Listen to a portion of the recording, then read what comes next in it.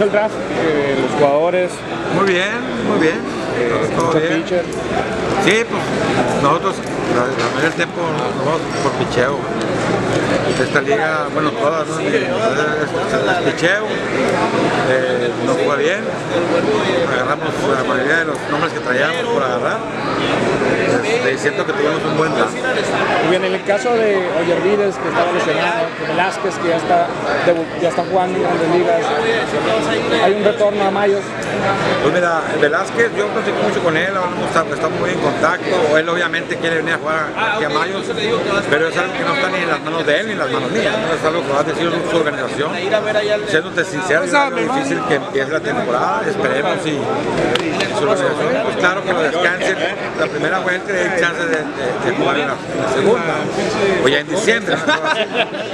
Pero ahorita pues es prematuro decirte, ni él puede saber. Este, oye, También, ya ayer antes he hablado con él, él, él lo operaron, eh, Repórtate. ya está pichando ahí en verano.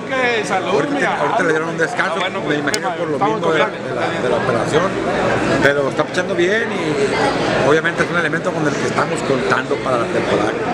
Muchos nacionales de los 16 wow, rondas, 14 nacionales.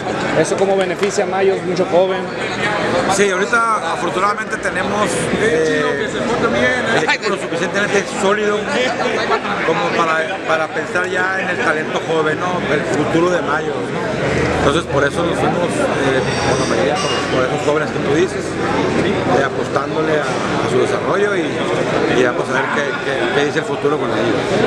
Espera el campeonato para esta temporada. Como todos los años, parezca cliché, pero yo siento que en los últimos 4 o 5 años nos hemos quedado en la rayita ahí por X o Y cosa, pero, pero el equipo está sólido, está fuerte eh, y vamos a ir por todas las canicas. Muchísimas gracias.